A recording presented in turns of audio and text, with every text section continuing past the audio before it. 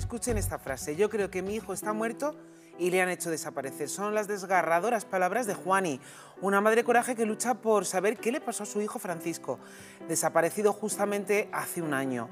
Para ello pide que el juez autorice el registro de su móvil. Hoy hace justo un año que desapareció Francisco de Pablo. Ay, yo me partí la cabeza con mi niño. Su familia desesperada busca una solución de la justicia. Juan, y un año sin tu hijo. Así es, un año. Estamos igual que al principio. Igual. Igual. Porque sigue sin dejar que miren el móvil, que lo analicen, que, lo, que es lo que deberían de haber hecho al poco de él desaparecer. Que miren el móvil, por favor, por favor. ¿Cómo está usted? Yo estoy muy mal, pero cuando vea a mi niño yo me pondría mejor. Ay, que no hagan nada, por Dios, que mi niño no se ha criado con gente mala. Ay, mi nieto. Ay, si tuviera mi Francisco, porque ya hace un año ya y no, no, no me escucha nadie. La agonía de esta madre coraje es tan profunda que incluso llegó a infiltrarse en los bajos de la droga. Sí, yo alguna vez me he cruzado con él. Aquí estás y como metas donde no te tienes que meter, pues te quitan del medio y no te creas que va a venir nadie a buscarte.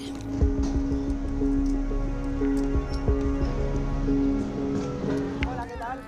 Gracias, gracias. Hombre, qué sorpresa. Los pequeños fueron amigos de Francis de toda la vida. Fueron juntos a la guardería, después al colegio. Luego ya al cambiar de colegios, digamos, se separaron, pero han sido amigos toda la vida. Justicia para Francis y para Juani también. ¡Miren su móvil! No pueden archivar el caso, es muy grave. No se puede perder a un hijo en las condiciones que lo está perdiendo ella. No hemos perdido a un hijo ni siquiera en condiciones normales. Juani, ¿qué reclamamos al juzgado número 37 de aquí de Plaza de Castilla? Que se dignen ya, por favor, que se les haga mm, humanidad, que miren, el, que rastreen el móvil de mi hijo, que le llamó dónde se apagó para poder saber eh, qué ha pasado con él, que no sé cómo no me he muerto de dolor. Dame un abrazo y gracias.